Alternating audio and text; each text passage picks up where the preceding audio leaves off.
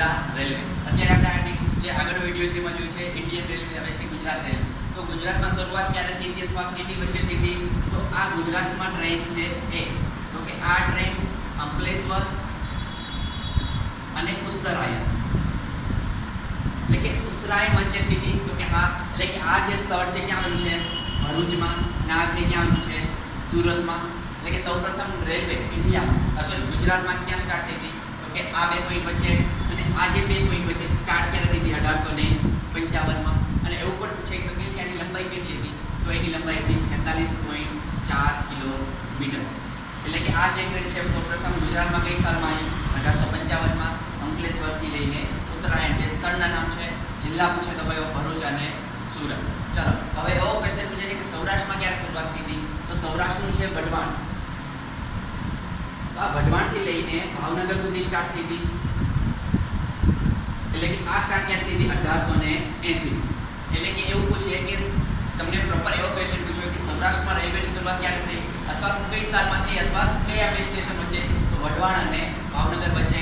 તો એ કઈ સાલમાં અઢારસો ને એસીમાં. ચાલો, તો એક બીજી ટ્રેનના નામ લઈ લેવાના છે. આપણે જોવાના છે ખાસ. તો કે જે અમદાવાદ છે, આ અમદાવાદથી લઈને તો અલગ અલગ ટ્રેનો જાય છે. એ ટ્રેનોના નામ પૂછે.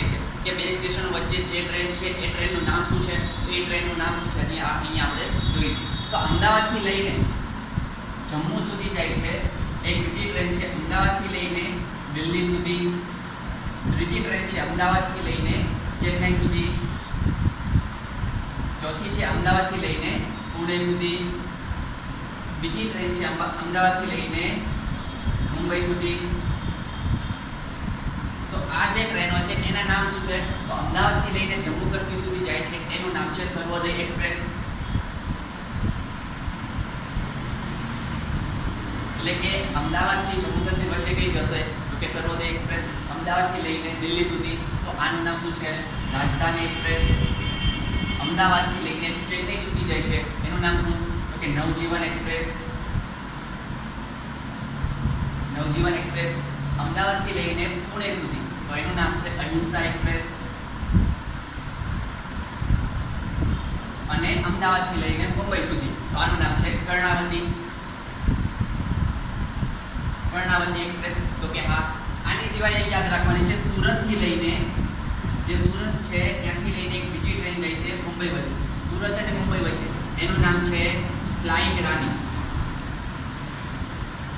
આ ફ્લાઇંગ રાની ટ્રેન નીચેનામાંથી કયા બે સ્ટેશન વચ્ચે જોડાય છે અથવા કઈ બે સ્ટેશન વચ્ચે જાય છે તો સુરતથી લઈને મુંબઈ સુધી અને આ જે ઓવરઓલ છે કે અમદાવાદથી જમ્મુ કાશ્મીર સુધી સર્વોદય એક્સપ્રેસ, અહીંથી દિલ્હી સુધી રાજધાની, ત્યાંથી લઈને ચેન્નઈ સુધી નવજીવન, અમદાવાદથી લઈને પુણે સુધી અહિંસા એક્સપ્રેસ અને અમદાવાદથી લઈને મુંબઈ સુધી કર્ણાવતી અને ફ્લાઇંગ રાની તો સુરતથી લઈને મુંબઈ સુધી. એટલે કે આ એક આખો મેપ જોવાનો છે.